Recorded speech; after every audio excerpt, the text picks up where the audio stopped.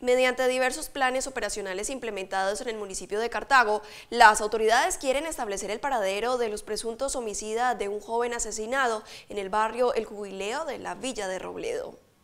Desconocidos asesinaron en Cartago a un joven de 21 años a quien le causaron varias heridas con arma de fuego.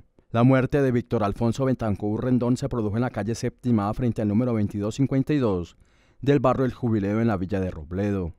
Los móviles y autores de este hecho de sangre son motivo de investigación para la Policía del Distrito Especial en Cartago.